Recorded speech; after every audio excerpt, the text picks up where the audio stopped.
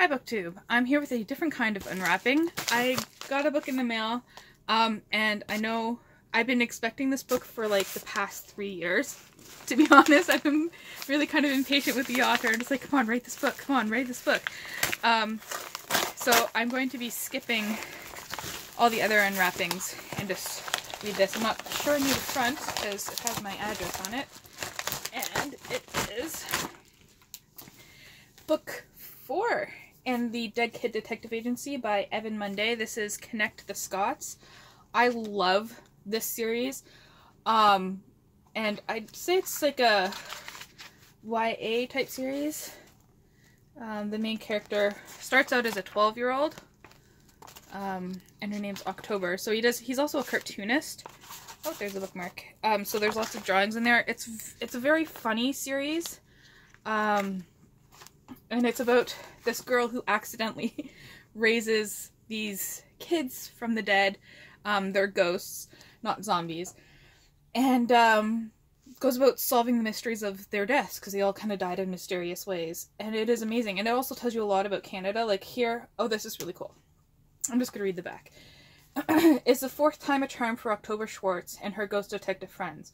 While investigating the cause of Tabitha Scott's 1860s death, October and the Dead Kids discover that Sticksville, Ontario, served as an endpoint for the Underground Railroad, the secret network that helped enslaved people escape to free states in Canada. Fraudulent occult psychics, funeral home ambushes, band wars, the spooky Sticksville Fairgrounds, and a history of prejudice all converge in a climactic conclusion that hints a secret society might be behind all manner of catastrophe in October's not so boring little town. Um, that's pretty cool. And I've seen a lot of people talk about um, ebooks recently. I just noticed this right here, this little sticker. Um, it says get the ebook for free with the code inside. So if you buy the print book, you can get the ebook for free. Um, I'd rather have the print book because of the cartoons. So I'm dropping everything and I'm reading this and I'm so very excited for this. Um, and then I just got back from the thrift store, so I just thought I'd show you what I got. Uh, it's Friday, isn't it?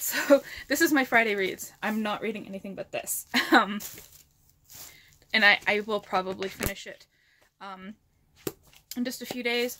Then I'll go back to Across the Universe, which is another YA. It's quite interesting so far. Um, quite, like, it's like a dystopia that takes place on a spaceship. Um, interesting. Um, and then I have The Prince, uh, which um, I realized why I only read excerpts from in the beginning. So I'm skipping like the first half of it, which is talking about like history and stuff like that. I know. and I want to concentrate more on the qualities of a prince as opposed to the conquering of lands. Um, yeah. And I also have um, I have to finish up the Martian Chronicles. I haven't finished that one yet. But it's really good. I'm just taking my time because um, I've been reading a lot of graphic novels and comics. I'm gonna do a, have to do a whole separate wrap up for that. Um, so anyways, here's um, what I got at the at the thrift stores today.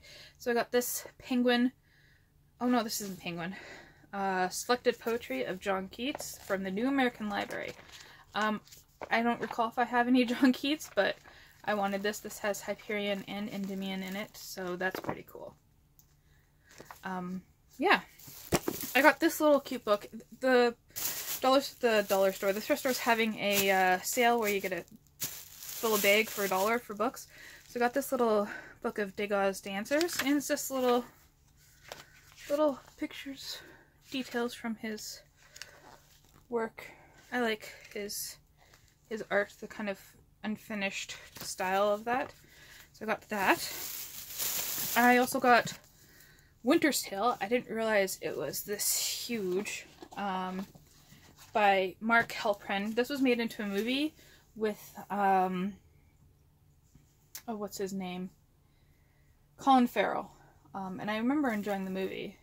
So, um, Peter Lake attempts to rob a fortress-like mansion on the Upper West Side. Blah, blah, blah, blah, blah. He begins an affair with a middle-aged... Oh, he's he's the middle-aged Irish burglar. He um, begins an affair with a young girl dying of consumption. Yeah. And then I got this, I guess it's a middle grade, uh, The Corpse of the Bare-Boned Plane. by Polly Horvath. Um, and this is a Canadian book. Yep, a Nancy Press. Um, teenage cousins Meline and Jocelyn are sent to live on a private island with their eccentric uncle following the deaths of their parents. The girls, who are barely on speaking terms, must find a way to deal with their grief. Blah, blah, blah, blah, blah. Um, yeah, I thought that might be really uh, good to read. Um, I only say it's middle grade because of the cover. I don't know, it might not be middle grade. Oh no, children's prize. Middle grade. Um, and then I got this nonfiction, um, Canon Revisited, Establishing the Origins and Authority of the New Testament Books by Michael J. Kruger. Um, I'm interested in the kind of history of the Bible, and this is talking about um, the study of New Testament canon and its authority looks deeper than the traditional surveys of council and creeds, mining the biblical text itself for direction and understanding what the original authors and audiences believed the canon to be distinguishes itself by placing a substantial focus on the theology of canon as the context within which the historical evidence is evaluated and assessed. I don't know if other people are interested in this kind of stuff, but I'm very interested in this kind of stuff. Um, then I got His Bloody Project um, by Graeme Macrae Burnett. And what drew me to it was that it says documents relating to the case of Roderick Macrae and uh, it is, it's like there's um, statements of the residents, the account of Roderick Macrae, the trial, extract from travels.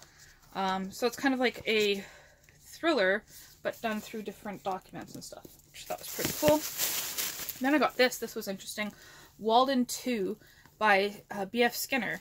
Um, yeah, the fictional outline of a modern utopia has been a center of rage and controversy ever since its publication in 1948. Set in the United States, it provocatively pictures a society in which human problems are solved by scientific technology of human conduct, and in which many of our contemporary values are obsolete. Um, so I thought that was really kind of cool. Um, and lastly, it's not a book, but it's book related. It's one of my all-time favorite movies, Romeo and Juliet, the uh, Leonardo DiCaprio and Claire Danes version.